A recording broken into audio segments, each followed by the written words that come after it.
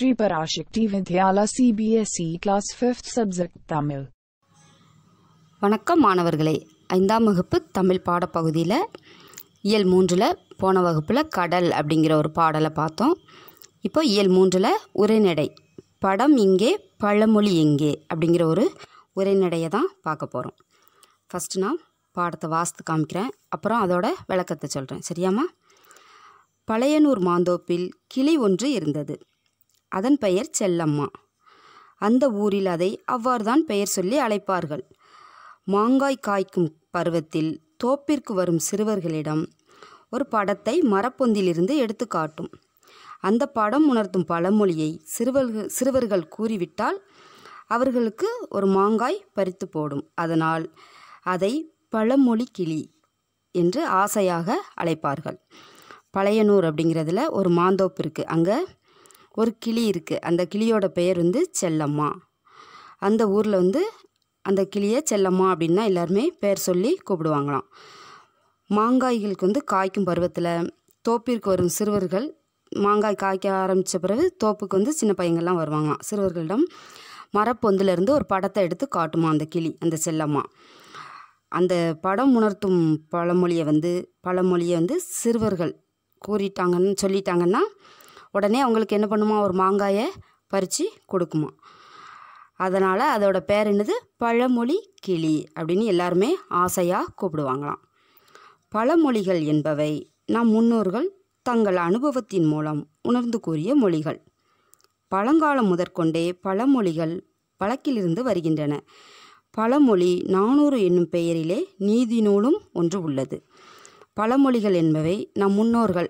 முன்னோர்கள்னால் என்னது? நம்ம தாத்தா பாட்டி அவங்களோட அப்பா அம்மா. அவங்க அனுபவத்தில் உணர்ந்து கூறிய மொழிகள் தான் பழமொழி. பழங்காலம் முந்தைய காலத்திலருந்தே பழமொழிகள் வந்து வழக்கில் தான் இருக்குது அப்படின்னு சொல்கிறாங்க பழமொழி வந்து நானூறு என்னும் பெயரில் நீதி நூலும் ஒன்று உள்ளது. மரத்தில் மாங்காய்கள் காய்த்து தொங்குவதைக் கண்டு சிறுவர்கள் தோப்பிற்கு வர தொடங்கினர். மரத்தில் வந்து மாங்காய் காய்க்க ஆரம்பிச்சிட்டு சிறுவர்கள் ஒவ்வொருத்தராக தோப்புக்கு வராங்க. ஃபஸ்ட்டு செல்லம்மா நான் பிரபு வந்திருக்கேன். அந்த கிளி கிளியோட பேர் என்னது? செல்லம்மா. பிரபு சொல்கிறான் செல்லம்மா நான் கில் பிரபு வந்திருக்கேன். ஓ பிரபுவா நன்றாக இருக்கிறாயா? ஓ பிரபுவா நன்றாக இருக்கிறாயா? நான் நன்றாக இருக்கிறேன். உன்னை பார்த்துவிட்டு மாங்காய் பறித்து செல்லலாம் என வந்தேன். மிக்க மகிழ்ச்சி. நான் காட்டும் படத்திற்குரிய பழமொழியை கூறினால் நானே உனக்கு மாங்காய் பறித்து தருகிறேன். என்று கூறியவாறு கிளி வந்து ஒரு படத்தை எடுத்து காட்டியது. இந்த படம் உணர்த்தும் பழமொழி என்ன? செல்லம்மா கிளி என்ன பண்ணுது? ஓ பிரபுவா நான் வந்து ஒரு படம் காட்டுதேன். இந்த படத்தோட பழமொழியே நீ கரெக்டாக சொல்லிட்டேன்னா நான் உனக்கு மாங்காய் பறித்து தாரேன் அப்படின்னு சொல்லிட்டு சொல்லுதுமா அந்த படத்தில் ஒரு படத்தை காட்டியிருக்கு. அந்த படத்தில் என்ன இருக்குது ஒரு யானை நிக்கி. யானை யானையோட கழுத்தில் என்ன கட்டியிருக்காங்க? ஒரு மணி கட்டியிருக்காங்க. யானைக்கு மேலேயும் ஒரு கயிறில் ஒரு மணி கட்டி தொங்க விட்ருக்காங்க இப்போ நம்ம வீட்டில் இருக்கும்போது நம்ம வீதியில் யானை வந்துச்சுன்னா என்னம்மா செய்ய சத்தம் கேட்கும்? மணியோட யானை வந்து அசைஞ்சு வரும்போது அது நடந்து வரும்போது அதோட ஓசை எப்படி அந்த மணியோட ஓசை கேட்டு தான் நம்ம வெளியே வருவோம். அப்படி தானே அந்த மணி சவுண்டு வந்து கேட்கும். அப்போ ஐ நமக்கு யானை வருது போல் அப்படின்னு சொல்லிட்டு நம்ம எல்லோரும் என்ன பண்ணுவோம்? வெளியே வந்து பார்ப்போம். அதைத்தான் அந்த படத்தில் காட்டியிருக்காங்க. யானை வரும் பின்னே மணி ஓசை வரும் முன்னே. அப்படின்னு சொல்லிட்டு பிரபு வந்து கரெக்டாக சொல்லிட்டான். யானை வந்து வரதுக்கு முந்தையே மணி ஓசை தான் ஃபஸ்ட்டு கேட்கும் அதுக்கப்புறம் தான் நம்ம யானை வருது போல் அப்படின்னு சொல்லி வெளியே வந்து பார்ப்போம். அதைத்தான் கரெக்டாக சொல்லியிருக்கான். யானை வரும் பின்னே மணி ஓசை வரும் முன்னே. சரியாக கூறினாய்.